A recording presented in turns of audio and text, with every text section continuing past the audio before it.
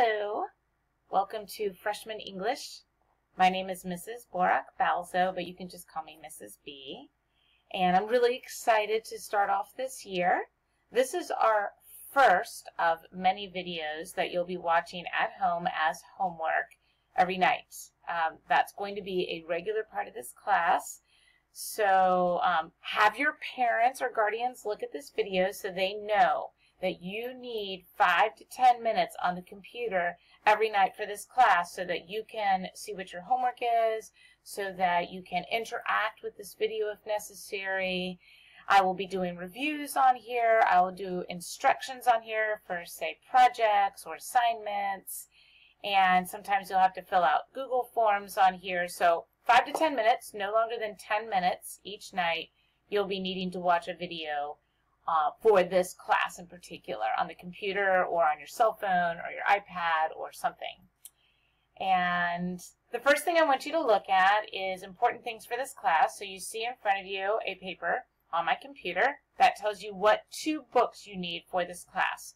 We do have a class textbook, but it will be left in class. You won't be bringing it home. I have one class set. So you'll only be using those in class. The two books you do need to buy are The Color of Water by James McBride and Fahrenheit 451 by Ray Bradbury. We'll be using The Color of or The Color of Water by James McBride in September. So you will need that by September 1st. We won't use Fahrenheit 451 until January. However, don't wait to the last minute to buy these books because all 1,000 freshmen are going to be reading the same book, buying the same book for the same time. So they will sell out here in Mason, and it will become a challenge to order them online because a lot of freshmen throughout the entire country read these books. So don't wait till the last second to get them. Supplies you need will be a, a three-ring binder. It can be a one-inch, one-and-a-half inch, two-inch binder. Make sure that you have five dividers that you have notebook paper, that the binder has pockets in it. And you will need colored pencils, regular pencils, and blue or black pens, doesn't matter, and notebook paper for sure, as I said already. Uh, a little bit about the raffle tickets and Friday drawings.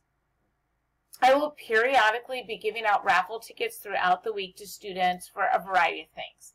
Um, an act of kindness that I notice or you've been very helpful, you've made some positive changes, you've gone over and above and um, participating in class, being respectful, helping others, all kinds of things. And randomly, I'll just be passing out raffle tickets for different things. You never know when I'm going to pass them out, when you're going to get one, but on Fridays. If you have a raffle ticket, or maybe more than one, you will put them in a bucket and I will draw out one raffle ticket each class and the winner will pick a prize out of my prize bucket.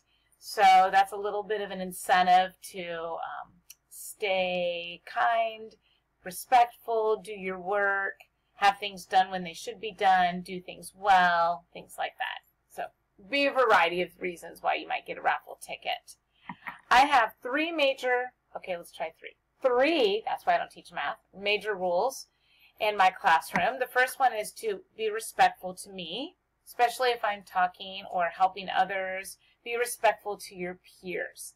And I will always be respectful to you guys too. Respect is my number one rule in class.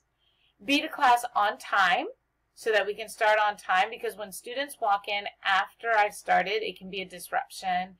And so always be in class on time I might be talking in the hallway to other teachers, so you get to class on time. You might get, you know, 30 seconds to talk to your friends in class, get yourself settled, things like that, so that when I walk in to the class, we can get started. And lastly, please, please, please keep your cell phones, um, iPads, any electronic device that you have with you turned off and put away unless we are using them as part of class. So those are my three big rules, and I really, really need you to stick by them. And if I feel like you're not, then we'll, we'll have a conversation, maybe include parents or guardians, and we'll go from there. All right, so here's what we're going to do. Let me bring up the next picture. Your first assignment that I want you to work on tonight and tomorrow night, you're going to be doing it on Wednesday in class, is I want you to make a collage. Make a collage online so that I can share it with the rest of the class on the screen on Wednesday. You can Google online collages. There are lots of sites where you can upload pictures to and then make a collage like you see mine online and then save it to a Google Drive, email it to me on an attachment. You can email it to Borak Balczo A at masonohioschools.com. You can email that to me as an attachment. And you can also save it to your documents and then save it to a flash drive, a jump drive, and then you can just bring it to me and I can plug the jump drive in and bring it up. So there are many ways you can save it. Just so that I can then bring it up on my computer and it'll pop up on the screen and you can then introduce yourself and why you chose the pictures and what they mean to you on Wednesday. So you've got two nights to get this done. Two nights to figure out a way to save it and be able to have it with you in class and share it with me. So again, you can, you can email it to me, you can save it to a jump drive, um, you can put it in a Google Drive and that way I can open it up really easily. You can uh, there's probably other ways you can think of. Oh, put it up to a YouTube link and then share the YouTube link with me.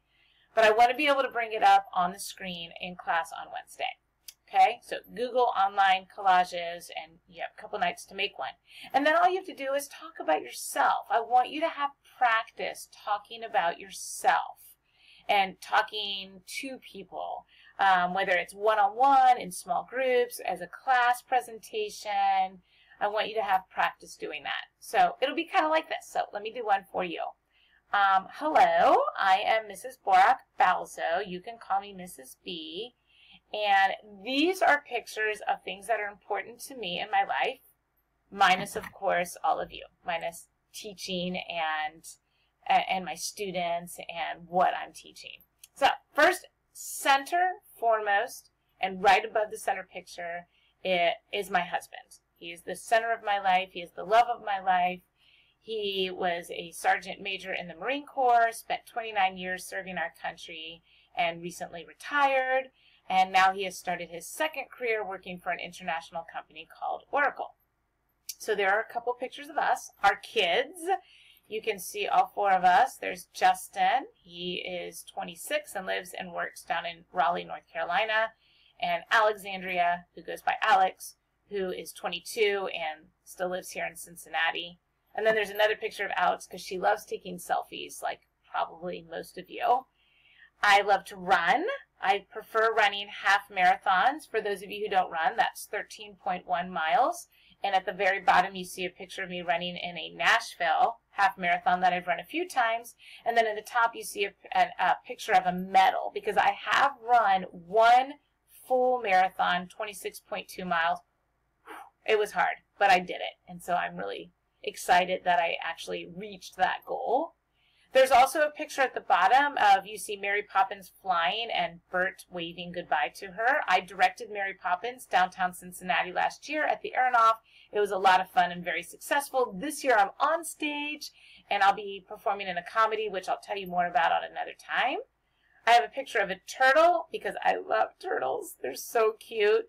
And I have a picture of a Starbucks coffee frappuccino light because that is my guilty pleasure. I love them. They make me happy. They make me smile. So that's a little bit about me.